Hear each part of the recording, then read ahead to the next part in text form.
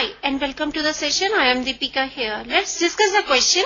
Differentiate the following with respect to x. Sine of tan inverse e raised to power minus x. So let's start the solution.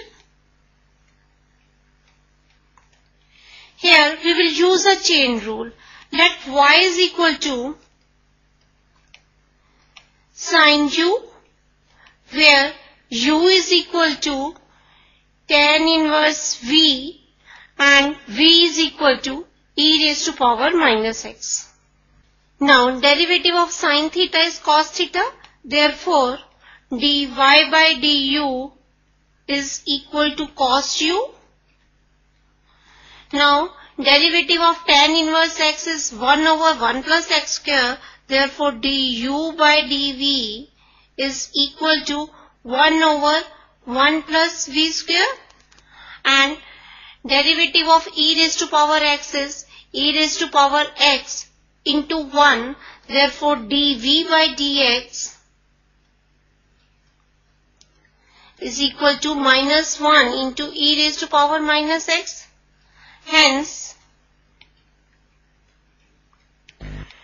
dy by dx is equal to dy by du into du by dv into dv by dx.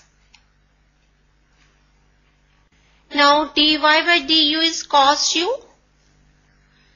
So dy by dx is equal to cos u into du by dv is 1 over 1 plus v square into dv by dx is minus e raised to power minus x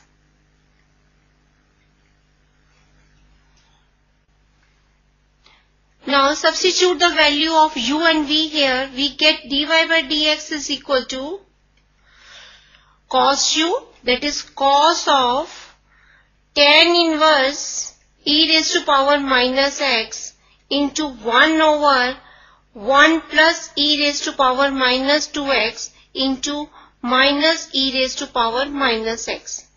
Hence, the answer for the above question is minus e raised to power minus x cos of tan inverse e raised to power minus x upon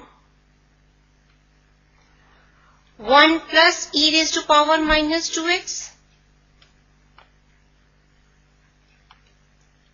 I hope the solution is clear to you.